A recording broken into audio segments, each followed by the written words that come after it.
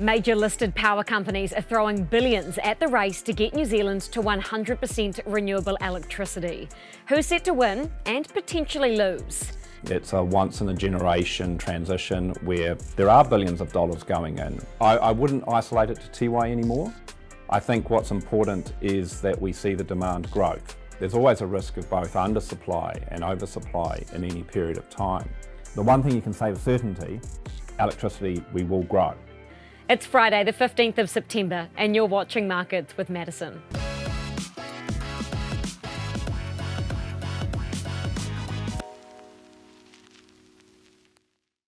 Our major listed power companies are set to spend $30 billion on one of the largest infrastructure transitions the world's ever seen. They're building wind, solar, and geothermal power plants in a rush to make our country one of the first to have 100% renewable generation. New Zealand generates around 43,500 gigawatt hours of power every year.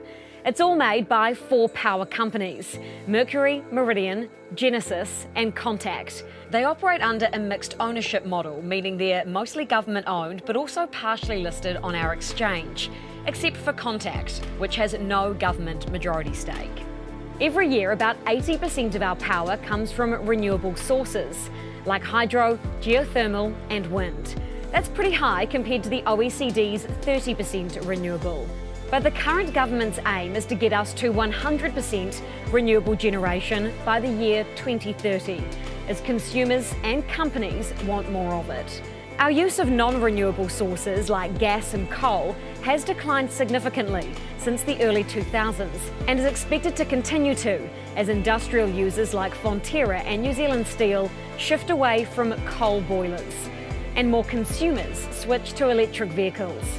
Our power companies see that shift, so they're getting ahead of it.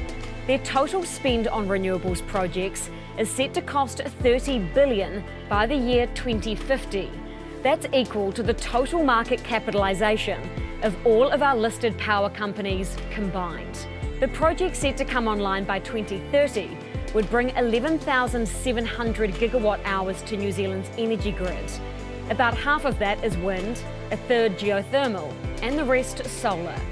New Zealand's transition is world leading, but also costly. So, how are these companies allocating this much shareholder value so confident it's going to pay off? How much will demand need to increase to use all of that additional supply? Well, Contact Energy's Chief Executive Mike Fuge has worked in the energy industry for decades. He's seen it all from the switch to natural gas to the closure of the refinery in Northland. In this interview, he explains why he's so bullish on this rush to renewables. Mike, thanks for your time. Good to see you. Good to be here. Thank you. Research shows that you've got just over 5,000 gigawatt hours coming online from all of your renewable projects through to the year 2030. That's across geothermal, wind, and some solar as well. How many billions of dollars is that in value committed? Um, the in the order. So if you think of Tauhara is 1.4, that's about 800 million. So it's going to cost us in the order of three to four billion dollars all up um, over the full period of 30 of uh, up to 2030.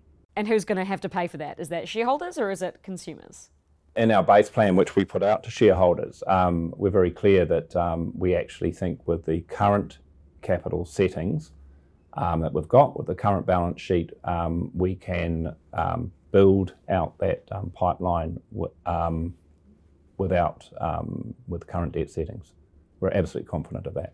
So that's the supply picture. Yeah. What's the demand picture that you're forecasting in terms of industrial and consumer consumption that's giving you confidence that it's worth spending three and a half billion bucks on? So the first thing is the first stage of that is thermal replacement. So we're not relying on new demand. We're actually retiring TCC. We've already retired Te Rapa. So um, in some ways, it's a bet both ways. We can retire thermal plant the second thing that we're seeing, we're relying on growth of about in the market, which is in line with the commerce, uh, sorry, the Climate Change Commission of about two percent per annum.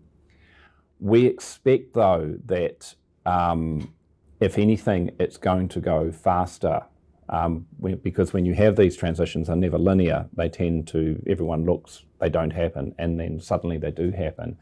And it's things like the New Zealand Steel deal, which is just the BlueScope have now taken FID and we expect that to be running up in the next two and a half years. It's things like that you say, actually, it's happening, it's happening now. So industrial seems like it's more key in your demand picture rather than consumer consumption. Um, we've, I've always, as you know, had a passion for um, making sure that industrial New Zealand made that transition.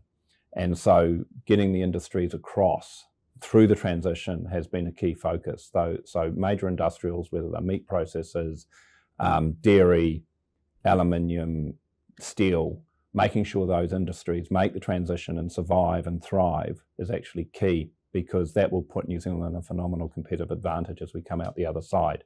Um, we do see the mass market growth, um, obviously with the electrification, with electric cars, um, with the conversion of gas boilers into heat pumps and the like. We obviously see that opportunity as well.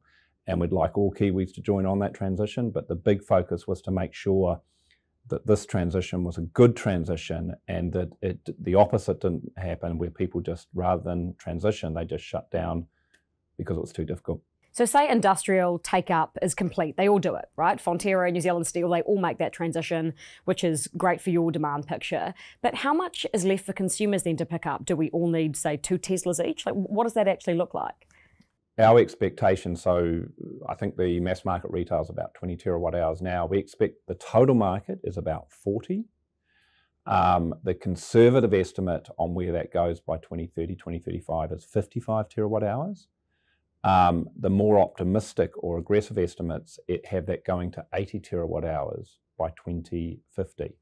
So the one thing you can say with certainty, electricity we will grow it will grow. And so, in the context of those growth numbers, you know, that enormous five terawatt hours, which we talked about, suddenly looks quite modest.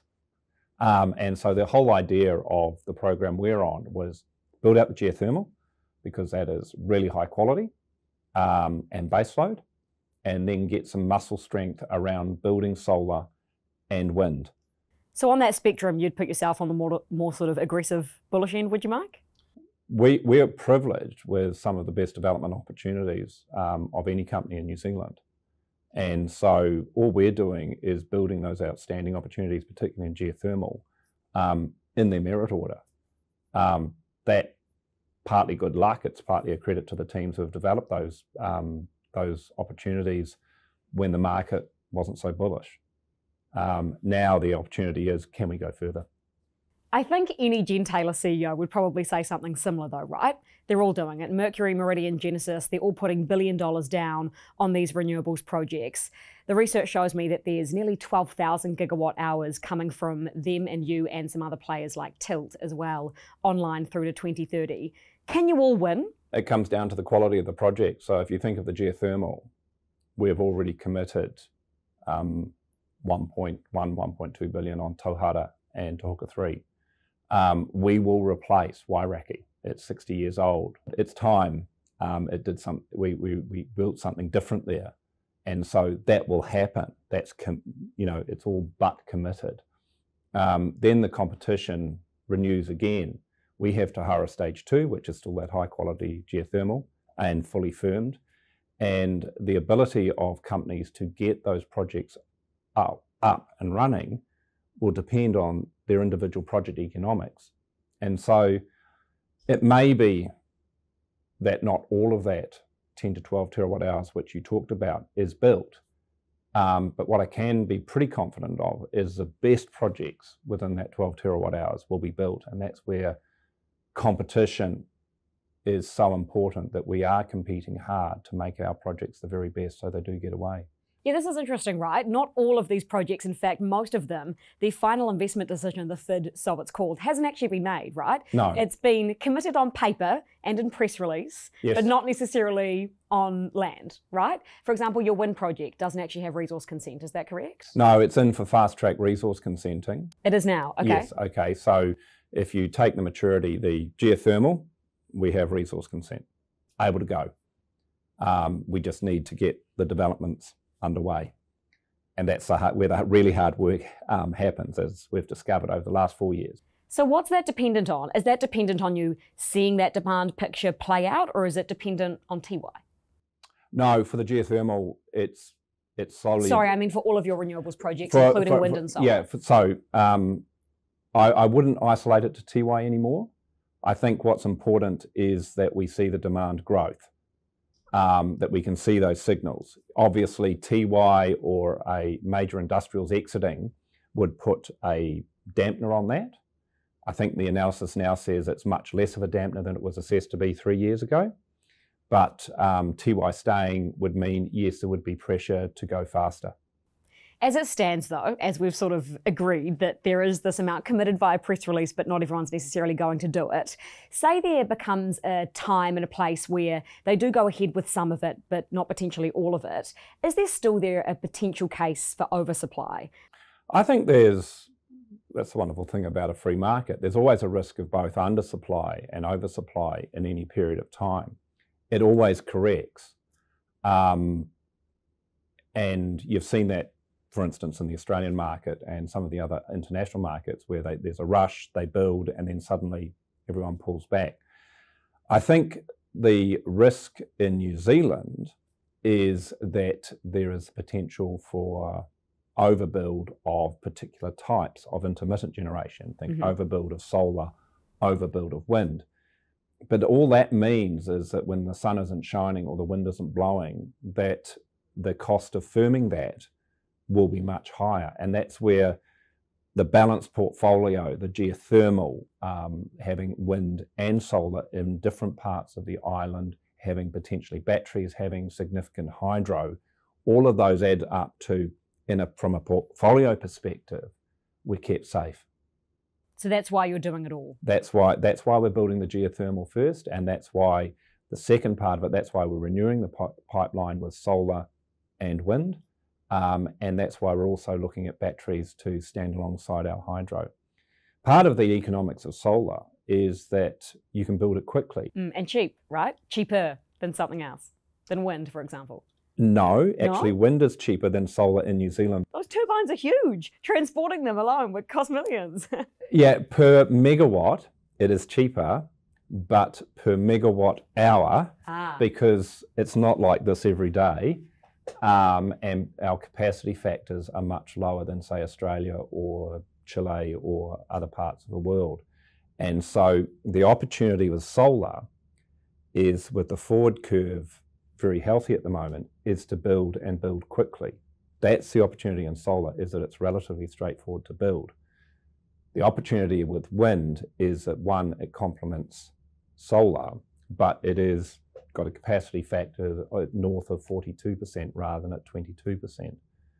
And geothermal, of course, 95%. Geothermal, though, isn't no emissions, it's low emissions. So is there a risk of you taking on something that's low Abs- emitting? Absolutely not, because um, we've cracked, particularly with Wairakei and Tauhara, um, we've found a way to keep the CO2 in the process. So um, it's not capturing CO2, it's just keeping the CO2 dissolved in the water, in the water, and then re inject. And that's actually one of the exciting things about the last two years. We thought it was low emissions, and then one of our um, operations engineers, um, senior engineers, um, said actually you can just, if we put a pipe in and capture it, it can be re injected. We tried it and it worked. And what that means is that both Tauhara and Wairakei have a chance to be gross emission zero, which is um, huge. The other opportunity on CO2 for Ohaki, which we're excited about, is that New Zealand's actually short of CO2 um, with the closure of the refinery. Beer. We need it for beer, don't we?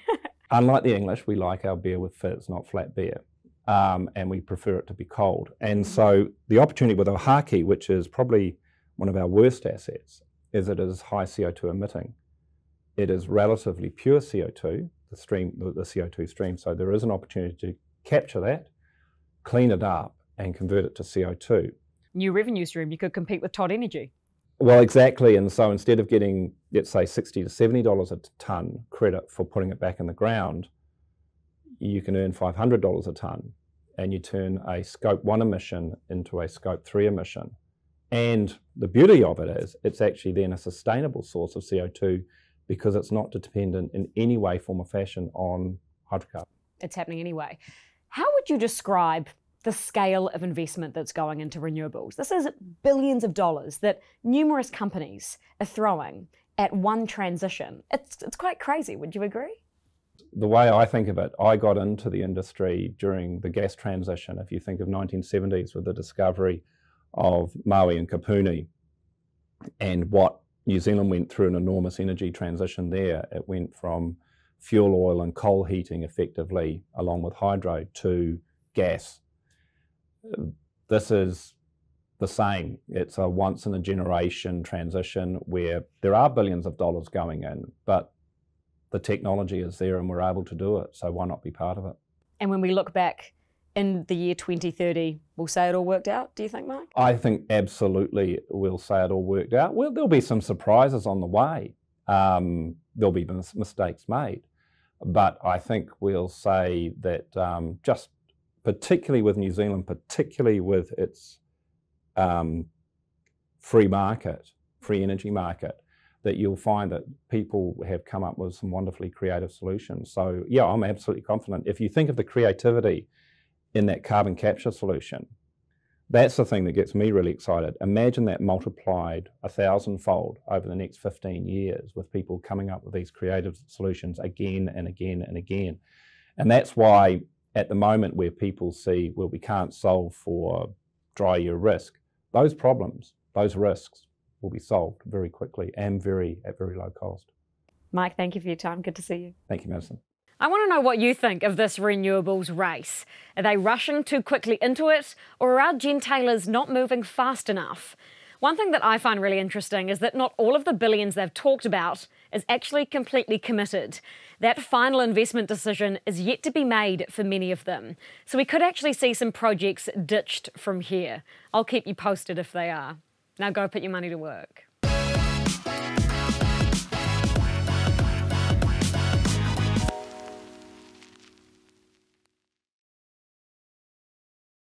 Thanks for checking out our YouTube channel to stay up to date with all the latest news from the New Zealand Herald. Click the subscribe button below or check out one of the videos here and head over to nzherald.co.nz for more details on these stories and more.